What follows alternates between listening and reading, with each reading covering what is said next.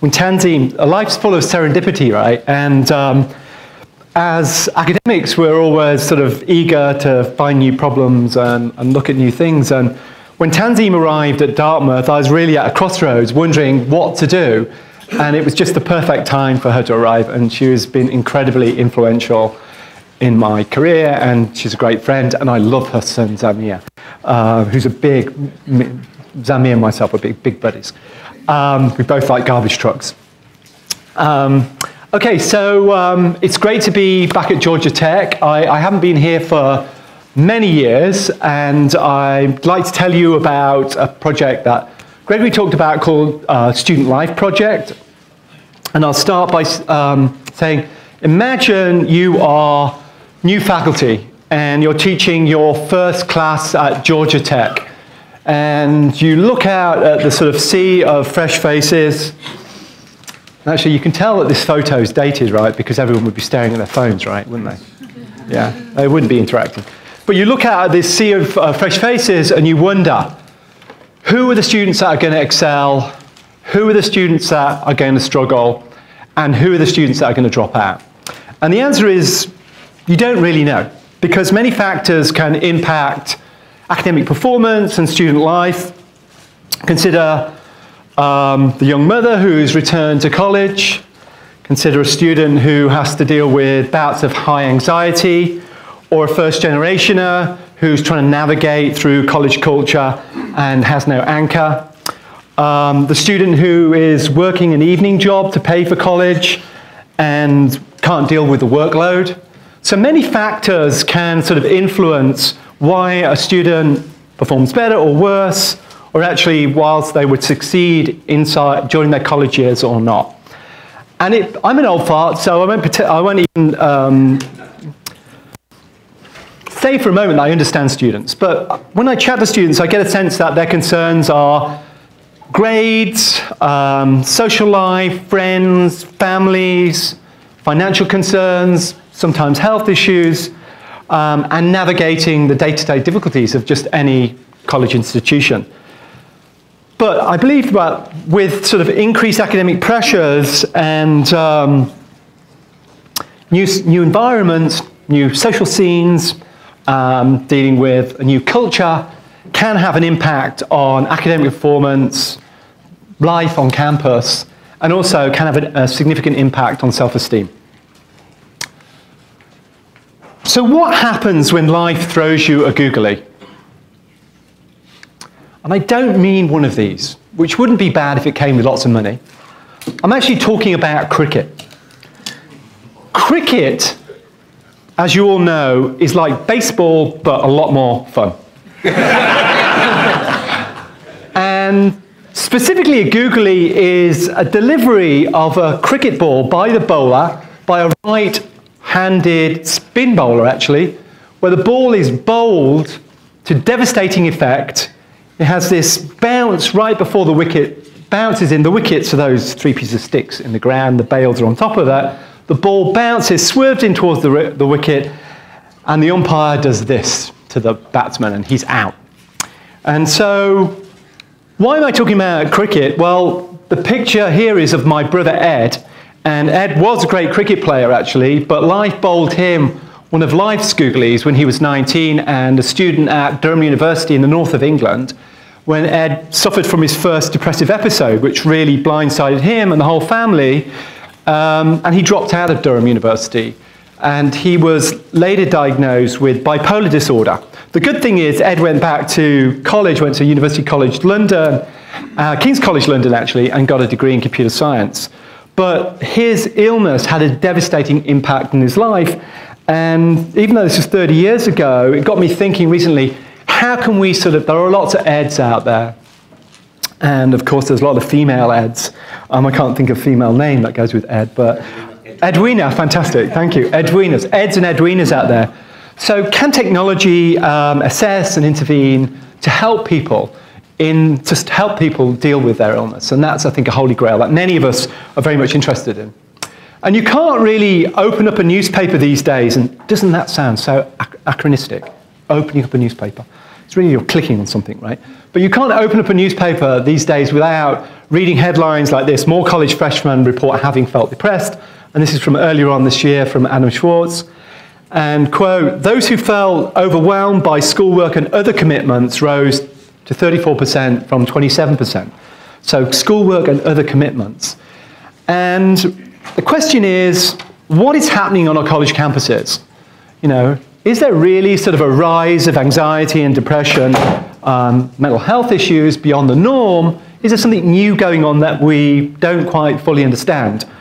Um, and I, I, don't really know the answer to that. I don't know if there's enough statistically significant data out there to tell us that one way or another, but seems to be something is happening. Of course, when we think of the college years, um, the college years, which are long ago for me, but they're years where students experiment, they take risks, they grow up. Sometimes they make good choices, good health issue choices. Sometimes they make bad choices to cope with stress. For example, they may choose to, you know, um, be involved in substance, substance abuse or unsafe sex or um, self-harm um, sort of behavior. Um, so these are sort of important years. And when we think about student health and we think about students, typically student health is not on the, sort of top of the list of priorities of students on college campuses. I mean, typically they are, what, they, what they're concerned about is their grades, their social life, um, could be financial issues, but typically it's not student health. And one important issue that we were chatting about this morning is that the student years are the years where these bad behaviors or these poor choices can have a significant impact on health that's propagated through their lives as, as they grow older, right? And could lead to serious health issues. So locally at Dartmouth College, when I've been chatting to the stakeholders, clinicians, counsellors, here is the data from last year at Dartmouth College where 11% of Dartmouth students were diagnosed with depression in 2014, 12% reported depression having an impact on academic performance, and a whopping 28% had seen a mental health counsellor in 2014. That means that when I look at the students I teach, a quarter of them sorry, a third of them, almost a third of them are seeing mental health counsellors. To me, that's shocking. Why is that? Well, it could be they're not, they're not suffering from depression, but having problems with their roommate, right? We don't really know. So the questions that drove the student life study are, why do students burn out, drop, drop classes, do poorly, even drop out of college when other students excel at the same institution? And what is the impact of stress, mood, workload, sociability, sleep, mental health on academic performance? And is there um, a, a cycle or a rhythm to the term, a behavioral rhythm that we can observe? By the way, if you have any questions, just put your hand up and, and ask me, and I'm very happy to stop talking. Else, you know, like any other academics, I'll just fill, fill the space right in the air and I'll just keep talking. Um, I would argue that most faculty are unaware of what's going on in their students' lives beyond looking at grades. Grades, right? Hopefully, apart from Gregory, most of us are nicer than Professor Snape. I've heard he's a little bit like Professor Snape. Some of his students, one of his past PhD students told me that. Um, I won't name any names. But um, at Dartmouth, for example, just after the midterm, we get the white slips. Every faculty gets the white slips, right? And Maybe some students is on probation and we fill in something or we don't fill and we send the white slips back. It sounds so antiquated, doesn't it? Um, so when I started the student life study, because I've, I've um, taught a, basically a 15-week semester system at Columbia and a 10-week um, quarter system at Dartmouth, any faculty actually subjectively knows is as the workload increases, typically the stress will go up and, you know, and students will be sleeping less. Um, but there's really no objective data to verify that. So that was the motivation behind the student life study, um, which we um, did in the spring of 2013, and we published the paper in 2014. And we started with actually 60 students in the study, um, but only 48 made it to the end over 10 weeks. Um, and the breakdown was there was 10 female and 38 male CS students. So a caveat, what I'm going to the results I could show you could be completely biased towards computer science students and small Ivy League colleges, right? Yeah? So I'm not, I'm not for one moment saying that these results will generalize out. So for this cohort, at this time, at this college, the results that I'll talk about later um, represent um, what we found, the findings. So 30 of them were undergraduates, 18 graduate students, and then there was a breakdown of different types of students, and then we had 23 Caucasians, 23 Asians, and two African American students in the study. I briefly want to talk about the sensing system that we used, and um, this sensing system was developed with Tanzeem Choudhury over a number of years for different projects. So I have to give credit to Tanzeem here. Um, and basically we use sensors on phones and I know Tanzeem hates these sorts of diagrams. She, I'll tell you a secret about Tanzeem. When she's reading a technical paper, if she sees a diagram like that, your paper is not going to get accepted in that conference. right? Anyway, I'm gonna, I am going to just gloss over this because I know it's going to annoy her. But um, we ran code on the Android phone and we ran code in the cloud. And on the Android phone, we used a bunch of sensors, the accelerometer, microphone, light sensor, GPS, and Bluetooth. And we ran a bunch of classifiers on the phone to do activity, conversational data to look at sleep. Um, we had a number of EMAs or self-reports, EMA, ecological momentary assessment, um, that popped up on the phone to look at issues like stress, mood, um, sociability, exercise behaviors, and others. And we did a number of pre and post surveys that were mostly mental health surveys. So we collected all this data and pushed it to the back end, and then we did statistical analysis on mental health, academic performance, behavioral term trends, and we developed a number of management scripts, which is the really hard part of running a study, which is keeping students, students being compliant and giving data right. Um, we learned a lot of lessons from doing that. So that's an overview of the student life system.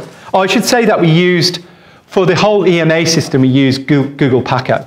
Very, so we sort of hacked up Google Paco to deliver schedules on the EMA's um, self-reports to students. So the classifiers, very briefly, were this is all old hat now because you know activity recognition. We rolled our own to look at sitting, standing, walking, running, cycling, driving car. But the great thing now is it's in iOS and it's in Android, right? So I think that is actually a great. That's great impact, but from the UbiComp and different communities that now that's embedded in the operating system.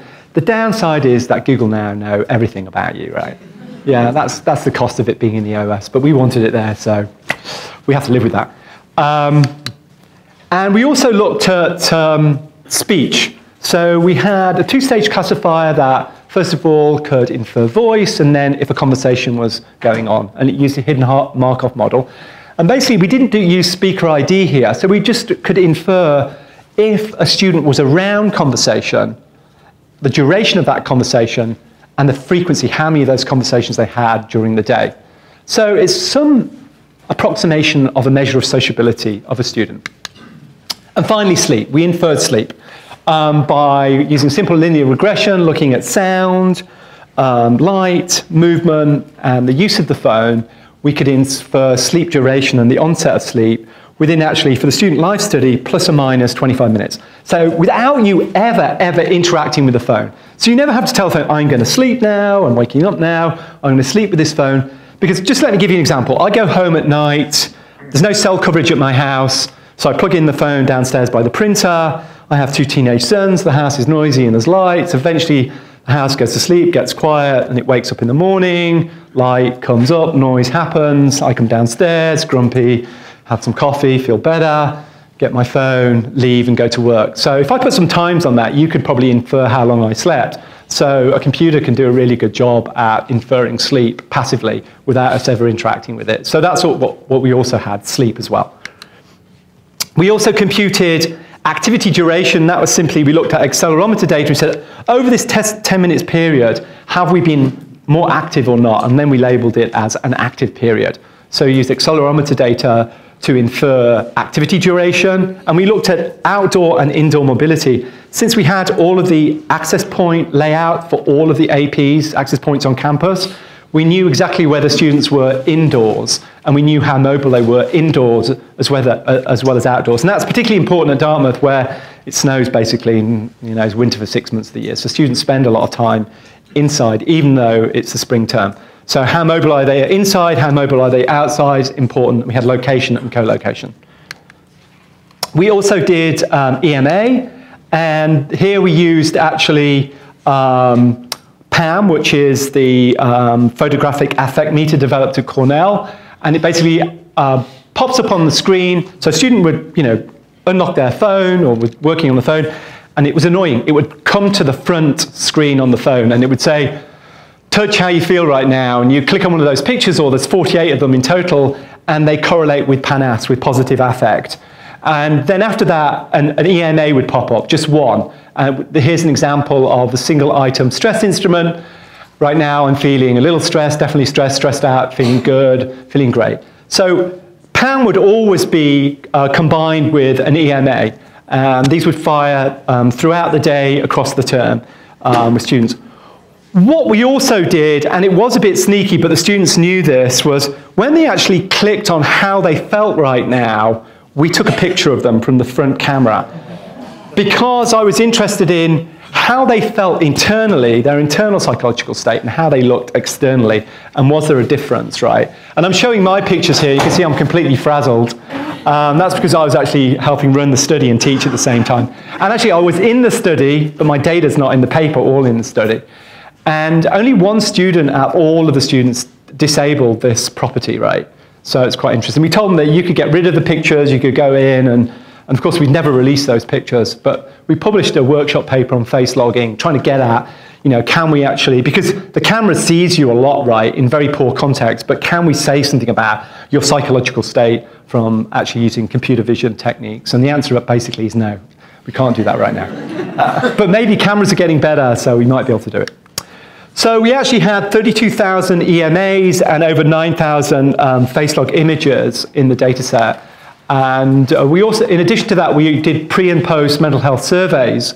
Um, and I should say, by the way, this study, um, well, whilst I sort of led the study, it was a whole cohort of people that helped design the study, including clinicians, psychologists, computer scientists, Tanzeem was one, who actually decided on you know, what were, what were the questions we were interested in? What were the surveys that we wanted to actually use? Um, so one of the surveys was PHQ-9 that measures depression scale, right?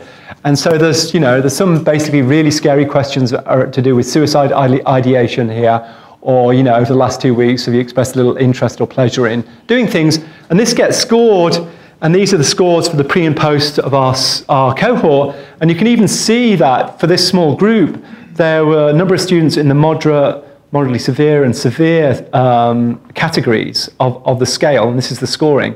And it changes a bit between the beginning and end of term. But when I showed this to a clinician on campus, she's like, oh no, that, this is not very good. No, she was actually surprised at the, the high level of, um, of depression in this small, small cohort.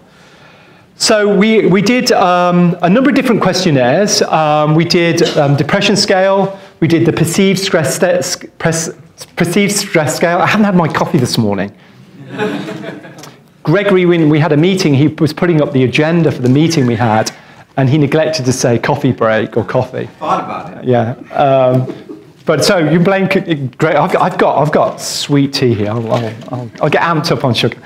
Um, so we also um, had the students do the perceived stress scale, um, the loneliness scale, um, and also flourishing. Flourishing is a sense of um, optimism about your future or about relationships. Um, so that's, that's what flourishing is. It also did the big five personality. So all the students filled in the surveys pre and post. The study design was that we recruited students and we sort of incentivized them, aka bribed, them to actually be in the study, not to be in the study, but if they were in the study, they got a t-shirt. It's amazing what a t-shirt can do. And every three weeks, we sort of raffled off um, five, six jawbone ups to the top collectors in the study. By top collectors, um, we mean in terms of the passive sensing data that has no overhead to be collected. All you've got to do is bring your phone with you, plug it in at night, and the EMA data, where it is really annoying and novelty effect wears off, and students stop answering those EMAs, even though we got a considerable amount of EMAs from this group. And then at the end of the study, we gave out, we, we used um, the Nexus, Nexus 4 here, we gave four, we gave 10 Nexus Android phones to 10 or 10 students randomly, randomly selected from the top 30 collectors. So there was some sort of merchandise and goodies that they could get for participation. Um, we had an orientation session where they read and signed the consent form. They did the uh, mental health surveys. we ran the study for 10 weeks. Um, we interacted with the students if we noticed that their participation or data was dropping for whatever reason. And um, then we had the exit, exit interview and um, the exit surveys and, and, the, and the post um, mental health surveys. And of course, we had access to their transcripts as well, so how well they did in all their classes. Um, so now I want to talk about the data set. The data set's actually been publicly released, and that was really important to me for this project. And I must say, I waited till all the students had graduated from Dartmouth to release this because it, you know, there's a lot of important data in this anonymized data set. And I know that if there's privacy, are there any privacy people, security people in the room? Because if they are, they can leave. Um, no, I'm only joking. But just, I'm, just, I'm just building up a bit of you know, strength to answer some questions later. Um, so the data set actually includes um, 53 gigabytes of sensing data, 32,000 EMAs, 48 pre and post surveys, um, a, lot, a lot of passive sensing data that has no overhead to collect, um, the EMA data, um, the pre and post surveys, the transcripts, we do have actually other data such as Facebook that's not released. We do release their dining data. So every time they had a meal, we also were able to collect that data as well. Um, so we looked at sort of eating habits and things like that. Um, and then we have the exit interviews, but we didn't release those as well. Data. Oh, sorry. yes, seating data. So what, what we did do was in my class, because my class was the common um, class for all of these students, where they sat in, I was interested in where they moved around as the term went on. You know, did they sit at the front and move back as their grade was dropping off or whatever? So we have their seating information as well in the class. Um, so the, this um, data set is publicly available and a number of people started using it. I'm very excited that people are using it um, because they'll discover things that we haven't discovered, hopefully. So now I want to sort of turn to talking about some results. And um, first thing, do students have their own clock? And the answer is at Dartmouth they do. Um, and I'll justify that by showing you this, which will mean nothing to you. Well, Tanzeem's getting sort of worried now because she, she knows what this is. This is actually the um, timetable for all Dartmouth classes.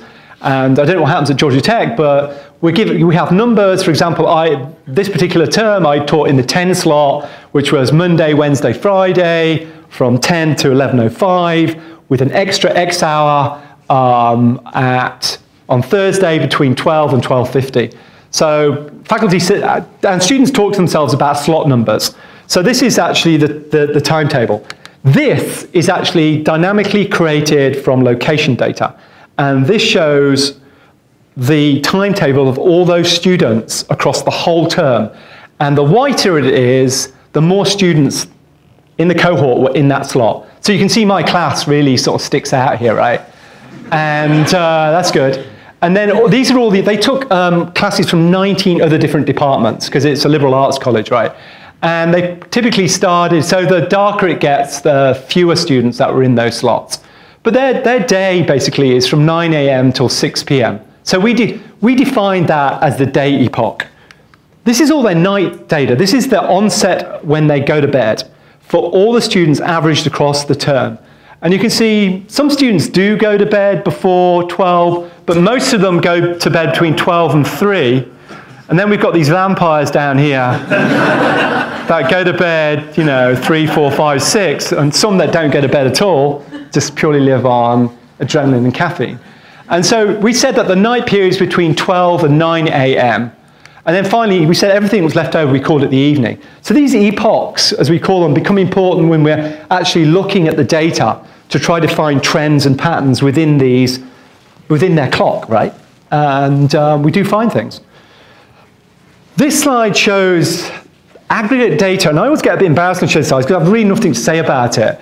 Um, but this shows um, a bunch of sensing data for across the epochs, so the day, the evening, and night. So this is how active they are.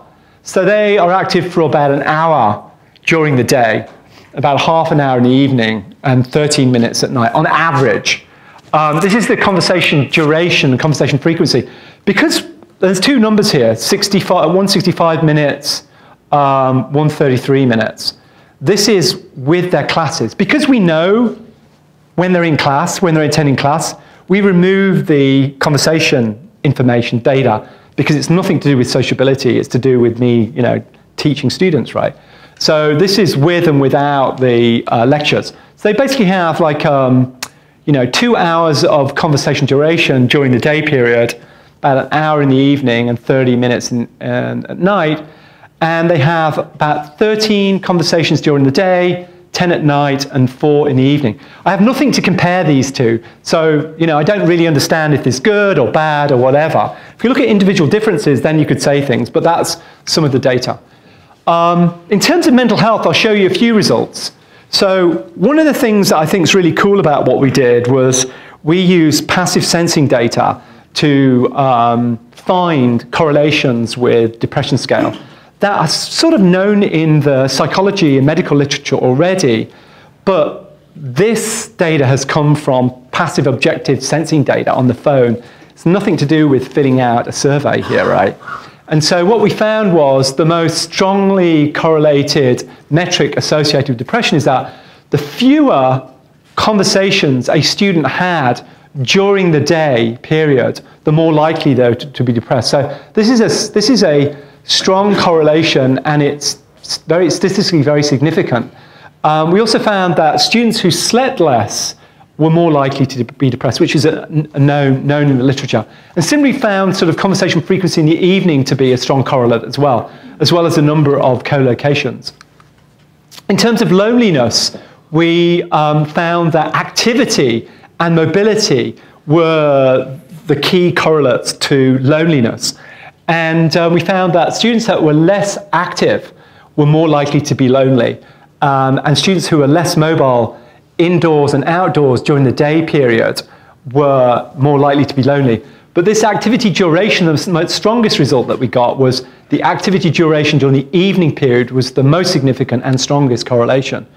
And when I showed these results, when I saw this result, I'm like, wow, there's something missing here. Does anybody know what's what, what would, with loneliness, what you would expect to see here?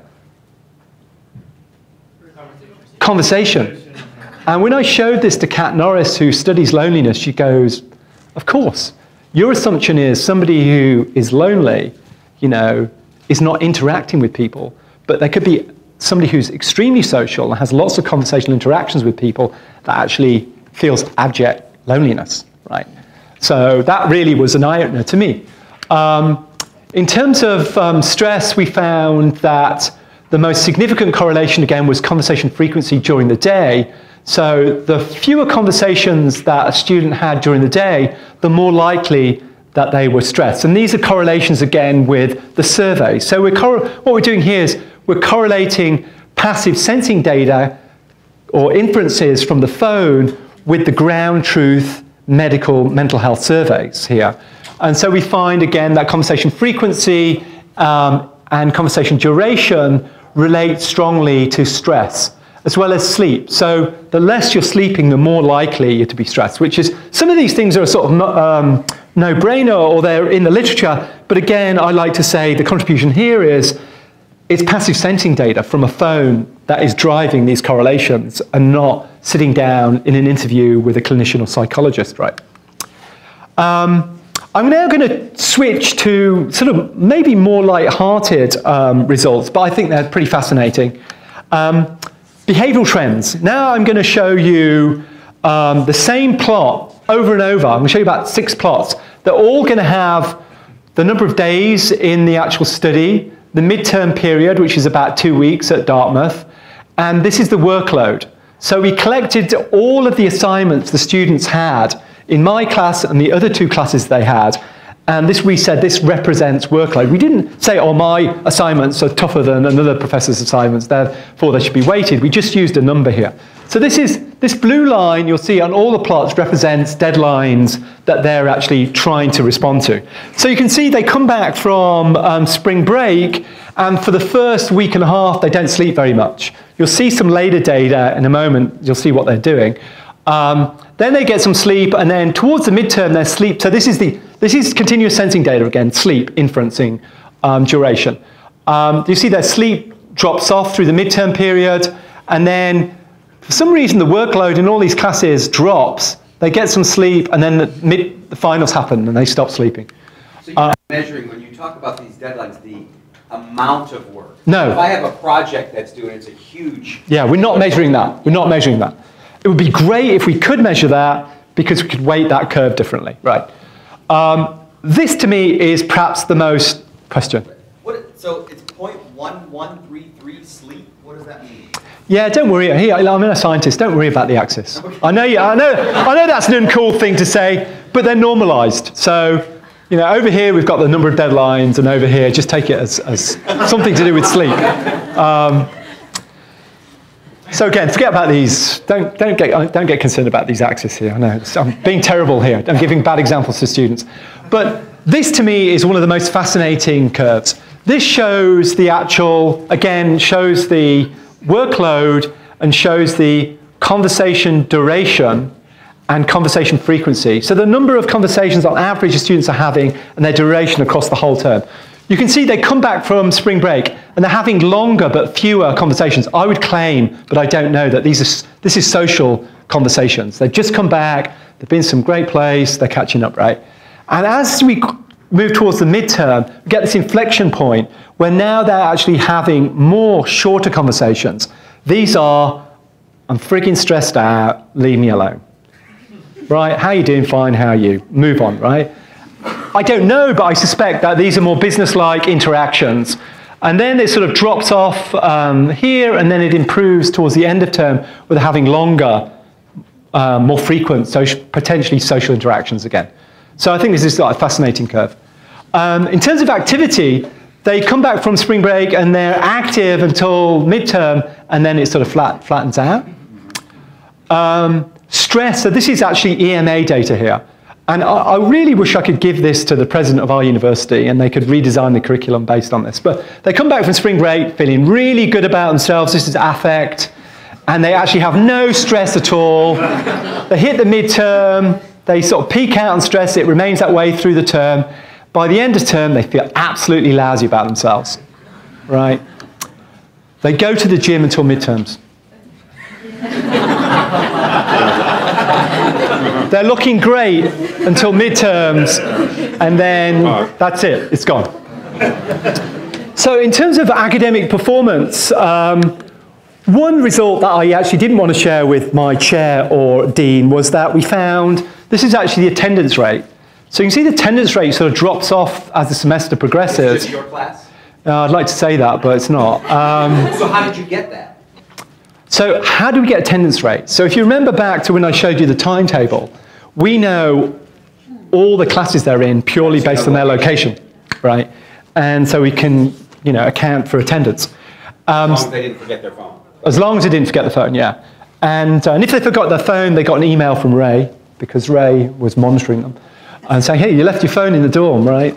Go get it. Um, so, you know, so here attendance drops off during the term, but the result that we found, we found no correlation between class attendance and academic performance, which I decided not to pass up the chain of command, um, since my next salary rise would be, you know, um, minimal. Um, so got to ask, well, why is this the case? Why is this the case? And we looked at the data a little bit more deeply, and we looked at individual differences between the high and low performers, as well as we looked at sort of higher level behaviors to do with studying and partying, and we did a time series analysis to try to track behavioral changes rather than looking at correlations and averages.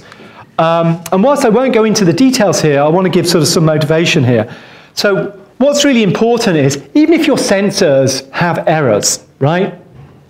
Even if your sensors have errors, what's really important, I believe, is the change in behavior, right? So if somebody is social and then isolated, then that may be an important change, right? Or someone's sleep patterns radically change, that might be an important change. So change is really important when you're actually doing data analysis here. So imagine that this is the whole term again, and this could be, for example, sleep. So now we, what we do is we look at the term slope, and we say that this is a negative slope for sleep for this student across the term. And we also said that the midterm is a significant anchor point in the term, so what's happening before and after the midterm may be important. So we describe um, features called pre and post slopes. Um, in this case, is a positive slope to do with sleep, and this is a negative slope to do with sleep before and after the midterm. And finally, students respond to changes in their life by enacting change. And the big question is, when does that happen, right? And so we actually um, analyze what we call breakpoints, behavioral breakpoints, where, for example, this could be conversational data, where it could be conversation duration, where suddenly a student drops off their conversation interaction sociability. So we describe this as a breakpoint. So now we have a lot more features to do with epochs and behavioral change associated with these behaviors, a richer class of data to try to mine to find out more about um, academic performance. Um, we went about trying to study, trying to infer studying. And we got lucky at Dartmouth, and I'll explain that in a minute. But not only did we try to infer studying, but we tried to infer focus studying. So if a student's actually in a study is studying and focused on the task. And the way we did that is that Dartmouth's an unusual place where it's really an enclosed campus. All the students live on campus, particularly undergraduates. They all socialize on campus, very tight-knit community in really sort of a small New England town. It's fairly, it is fairly isolated and fairly rural. Um, and many of the students, the vast majority of students actually study in groups or individually in study areas. And there are many really great study areas at Dartmouth that range from, you know, quiet library spaces to private rooms to cafes that are open all hours and students work and socialize in these spaces. So we use the semantics of place to label all these study areas.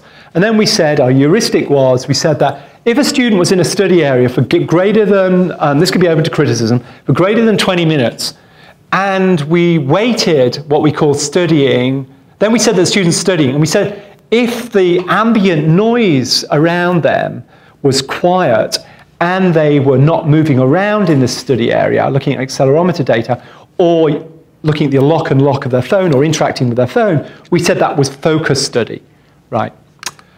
And now when we look at the study data and we look at the, um, we look at the attrition in class in terms of attendance across the term, what we see is sort of a rise in self-study to the midterm, this sort of drop, and then after the midterm where actually attendance drops off, we see this equally interesting rise in self-studying. And this could be Dartmouth students dealing and coping with stress and load, we don't know because there's no cause and effect here, but that's one plot we're studying. Partying. We also looked at that Dartmouth, which has got a reputation as being a hard party college. Um, I don't know about this because I'm just a boring old professor who doesn't party at all, listens to bebop jazz. Um, but partying, how do we do partying? Well, at Dartmouth, all the parties are in the, sadly, are in the basement of the fraternities. And they're all open to all, and it's mostly all the undergrads. It's open to all the undergrads on campus. And the reason why they are amazingly popular is because that's where all the illegal drinking is done, and probably illegal drugs, right? Is done in the basement of these um, fraternities. So we used a similar approach to actually infer partying. If a student was in one of these fraternities, and, and we also knew if the student happened to live there, right? right? But if they were in the fraternities for a certain period of time, and because most of these parties are dance parties, and look, looked in at, uh, weighted with sound and activity, we inferred party. So when do the students party and when do the students study? And when I show this data to Dartmouth undergraduates, what happens is this smile breaks out on their face which to me might not be like scientific validation, but I've talked to enough of them to know that this is true. And it's really weird, and it's really Dartmouth. The biggest party night is Wednesday. What a losing campus, eh? I mean, for me, when I was growing, up, it was always Friday, right? But at Dartmouth, it's Wednesday. And do you know why? Because the Greek houses have their meeting night, AKA illegal drinking and drinking, right? So that is the biggest party night on Dartmouth campus. And it traditionally has always been that way. And the administration actually supports this because classes start at 8 o'clock every day apart from Thursday when they start at 10. And, and our new president, who's so embarrassed by this and because of all the bad press that Dartmouth's had, he is now reverted to class starting at 8 o'clock on Thursday morning, which is very unpopular. Um, so Wednesday's the big party night, but also Friday and Saturday and Thursday, and then not much happening Sunday and Monday or Tuesday. If you look at the studying behavior, it's the absolute opposite. And really, studying is setting up for the party week. You can see it here, right? Sunday, quite a lot of studying going on. Monday, big study night, big study day. Tuesday, the biggest study day of the week. This is average across all the days across all the across the term. Wednesday, still studying because parties start 9, 10, right? Nothing going on Thursday, Friday, Saturday, then getting back into the working week again. And if we look at the partying across the term, we can see that the first two weeks are the most party, partying. That's why they're not sleeping, right? Because all the parties are going, if you re- remember back to the sleeping data. And then it sort of drops off through the midterm, peaks again during, this is um, Green Key, which is our spring festival, which runs from Wednesday to Sunday, while partying going on and then drops off. Um, I begin, I'm going to actually begin to sort of wrap up here. So coming back to what correlates with academic performance, well, we found that activity, so if students um, were less active after the midterm, so this says activity post slope, which would be meaningless to you, so I'm just going to interpret it. So if students are less active after the midterm period, they were more likely to have a better GPA. If students change their conversational behavior, particularly the duration, after the midterm period, particularly in the evening, they were having less conversations, they had higher GPAs. Students who were um, less mobile as the term went on indoors had higher GPAs. Thank goodness. Students who actually attended class pre-slope, meaning they attended class, they increasingly attended class up to the midterm period, also seemed to do better. Students who um, partied less as the term went on did better. Students who studied more, surprise to surprise, did better. And students who had focus study also did better. So my question to you is, do you think, um, of course this is a loaded question, else I wouldn't ask it. Do you think a smartphone can predict GPA? Hands in the air who think a smartphone can predict GPA. All right, we got like about quarter of the group. So let's see.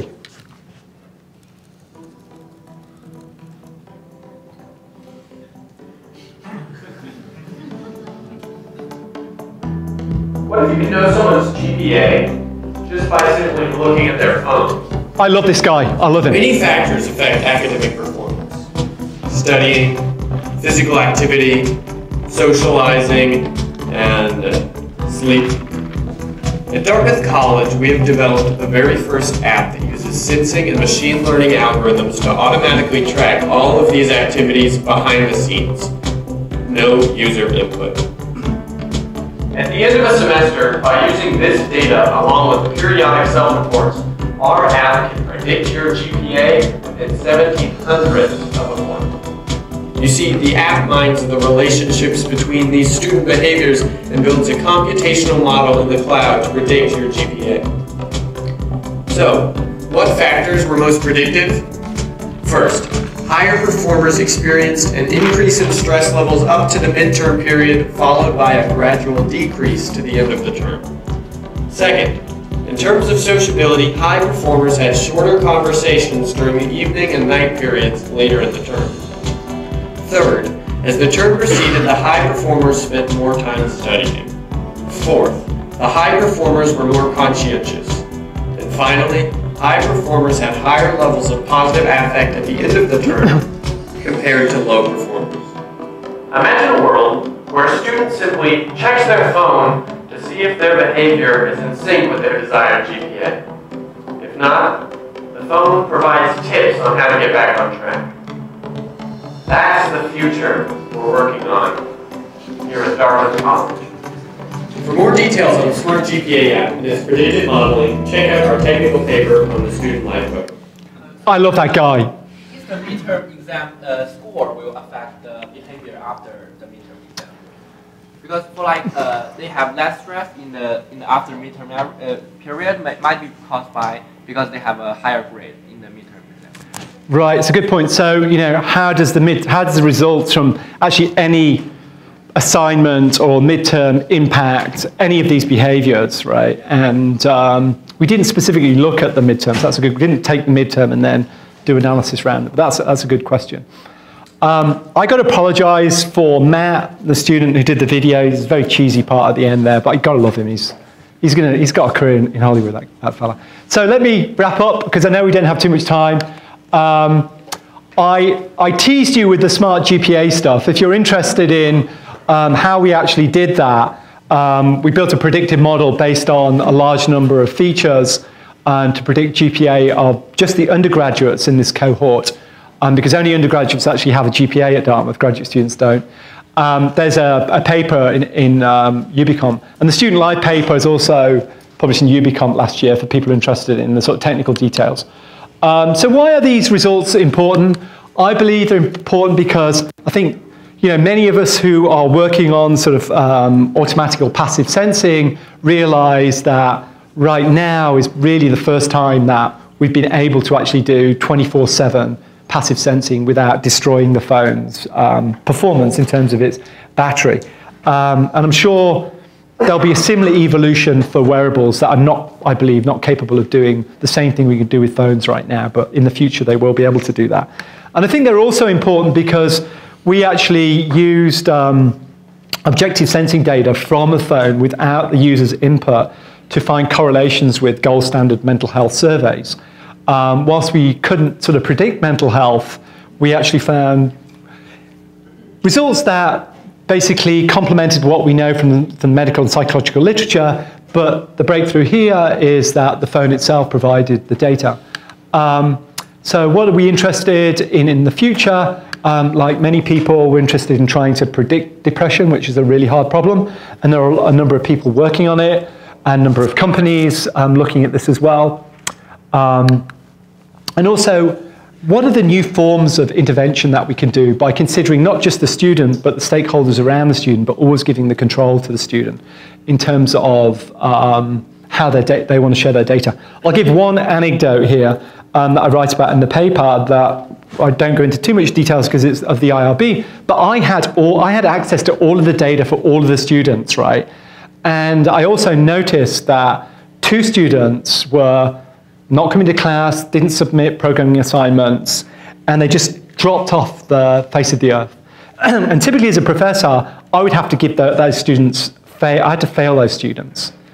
Instead of failing those students, I gave those two students um, incompletes which allows the student to come back and complete the course.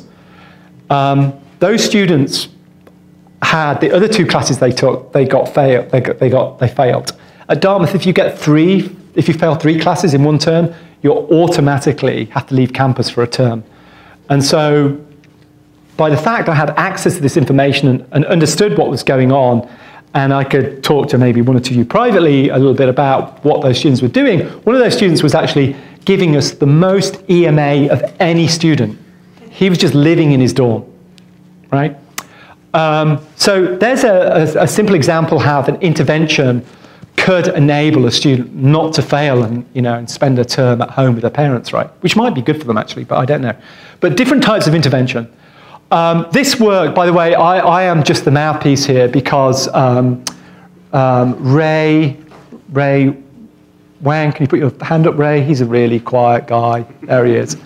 And Gabriella um, actually were two students actually did a lot of the work. Ray should actually be up here giving this talk.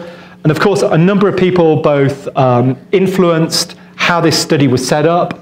Um, as I said, they're sort of clinicians, computer scientists, personality psychologists, social scientists, people interested in loneliness. Of course, instrumental in this is Tanzeem Choudhury, this study would never have happened without my sort of uh, close collaboration with Tanzeem. The technologies that were used in student life essentially came out of joint work between the two of us. So I'm very grateful to Tanzeem for that. Um, this is a growing area of research. Um, we had a workshop in July, and you can find this on the web called College Student Health. There's some, we collect, with, there's video of all, this, all the breakout sessions, some eerily, and all the white papers are there. If you're interested in this emerging field, please go and look at that. Um, so finally, in summary, so what happens when life throws you a googly? I hope mobile will detect it and mobile will deflect it. So thank you very much.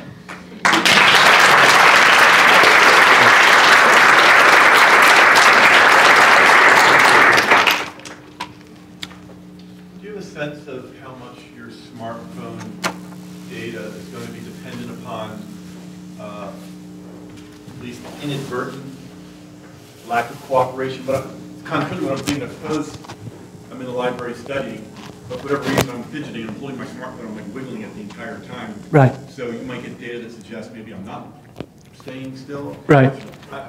So we, we you know, it, it's, it's fairly easy. I mean, classifiers can always get confused, right? That's why I have the confusion matrix. But, you know, that would be an un, unknown state, just twiddling with your phone like that. I mean, maybe it could get confused with running or walking, but um, it would be fairly straightforward to be able to, you know, remove those sorts of patterns. So you think so, sort of anomalies like that are, in your experience, reasonably easy to detect and Well, I, I, I, wouldn't, I, wouldn't, I wouldn't say they're rare, and I wouldn't say they're easy to detect, but I think you, there, there's a, a method by which I think we could apply to actually remove those. Yeah. So, uh, what are the most surprising results are you finding after looking at data? And some of the results you may never thought before you collect data. Right. Actually, this was a criticism of the paper that, you know, when we submitted the papers, like, oh, this is great work, but there's nothing really surprising here. And I don't think there's anything, one thing that really surprised me. The things that I sort of take away from doing the student life study was um, sort of anecdotal things were the, the, first of all, the sort of the level of difficulty that goes into actually running and maintaining a study and getting good, good data and trying to, you know, deal with compliance. You know, that's fairly boring, sounds like engineering, but uh, I didn't realize that going into this. I'd never really done a study like this before. And many people in HCI do that all the time, but it was really a surprise to me. Um, I, you know, the reward that I got out of it was actually um, enabling these two students to come back to campus. And one of them actually came see me in my office um, in the fall when they came back. And, you know, we talked about the work that he had to, to do, you know, to, to complete the class. And he never, ever mentioned once about what was happening with him. Nor did I ever, ever ask. You know, so I learned to, you know, keep a distance between what's happening in a student's life and, and my interest in finding. I was very interested in getting information from him, but I would never ask him that, nor did he want to give that information. But that student went on to graduate, and now, you know, I sort of know he has a job, in Silicon Valley, he's doing well. That's sort of rewarding. So that was a sort of ad hoc intervention. In terms of actually the results that we got, um, in terms of the correlations, I would say that I was, I was pleased to see that the conversational aspect to behavior seems so important in a, in a, in a student group. And that sort of surprised me, yeah. Uh, I assume from what you described, the students didn't have access to any of this data during the collection. Oh, you're right, thanks. So do you Thanks think, what value might there be to providing a reflective piece of this during, uh, uh, or, or while it's being collected? Right, so I should have said, I, I'm like, I should have said that at the beginning, that we purely collected data here. There was no feedback to students, right? And so that's really hard if you're in the business of data collection. We talked about this this morning. What is the incentive? What is the value for a, a student to actually allow you to put that software on their phone, right? Um, so that's one. That's an open question, um, Gregory. I think you know Tanzeem and myself did some work on BeWell a few years ago, where we looked at that's you know we we just took ideas that had been around in the UB com- community using ambient screens on phones and, and stuff like that. And so the, I think the thing is, how do you find the channel to a student, right? And what is their channel? You know, so if you want them to reflect on the data, I mean, if they're, if they're self-quantified nuts, they'll be geeky and look at the data using MATLAB, right? Yeah? Um, if they really are, if they're really into that, right?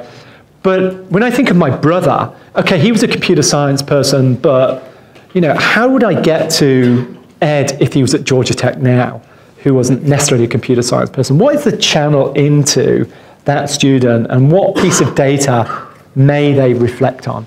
I think it's a really, it's an open question Um, and it's a hard question. Well, just to speculate, you had them while they're turning on their phone, pick a picture that most describes them. Yeah. And those pictures are associated with certain kinds of affect, Right. mood level. Right. Instead of doing a follow-up survey, you could say something, you know, over the past week, 13 times you have selected something that Yeah. suggests you're really happy. Right. Or really upset. Why? And that's it. Well, no, not Right. even why, just, Yeah. you, you, just quickly flash that up, and they may look at it, they may not. So you reinforce a feeling that they may or may not have had, right? Right. So they can reflect on it. So I would, I said that that's a good idea. We never got into that business with student life. I think it's an important part of it. I should say because the one thing at the exit in the exit interview, students actually hated all the EMAs, and I'm going to embarrass Gabriella's advisor, Sam Gosling, who's a brilliant guy. Love him a lot. Sam came up with an EMA and had like 20 questions on. So this was a pop-up questionnaire for the phone. You know, clearly Sam is not a mobile guy. Well, he is, but you know, I was like, let's cut it down. They hated the behavioral one more than any, simply because it had the most questions. But they loved PAM. They absolutely adored PAM. Um, and there's something posi- very positive reinforcing about clicking a picture, I think, that sort of interaction rather than filling in a textual input. Um, When uh, stressful events happen, some people deal with those stressful events well, others not as well. Do you think you could pick out certain protective behaviors that may help people? Like, for example, people who are tending to sleep might go into these stressful events better prepared and they'll come through it well. Or maybe those who have better or more richer, richer social networks might also have protective factors in place to help them through those stressful times. Um, So I think what when that's a great question. I think when I, when I listen to your question, I, I naturally think of what are the coping skills that students have in dealing with stressful events in their lives, right? And again, we really don't know. We could we could hypothesize, we could guess, we could interview a few students, but it, there may be a huge amount of individual variability. Stress, Yeah, around midterm, it's going to jump for some Yeah. not as high for others. yeah, Then working backwards, for when you saw a smaller increase, perhaps they were sleeping more regularly, right. they were, you know, but they had schedule. Yeah. Right, so uh, another good point. We didn't look at that. And the data set's there, so somebody could look at that individual variability, how stress and, and the other behaviors relate. Um, you know, when I, when I talk to, um, when I talk to the clinicians at Dartmouth, the one thing that, that they bang on about, and it, you know, I'm not sure if students ever listen to them because, you know, students at these very competitive places like Georgia Tech, I'm sure it's exactly the same here. I get in line for my cup of coffee in the morning on campus, and all I hear about is the all-nighters they pulled and how stressful they are, and they wear that as a badge of honor, right? Yeah. So how do we actually get them to sleep more and be less stressed when they think actually sleeping less is good and being stressed is okay? So you know, there's many sort of open issues there to tap into these young people and try to understand how you know how they could you know telling them get six eight hours sleep tonight. You're going to deal with your stressful event tomorrow so much better. We've got the literature. We've got the literature to show it but sorry it's difficult to influence them. Thank you for all your questions. Yeah, thanks again, Tim. thank you. So, in case you don't know it, at three.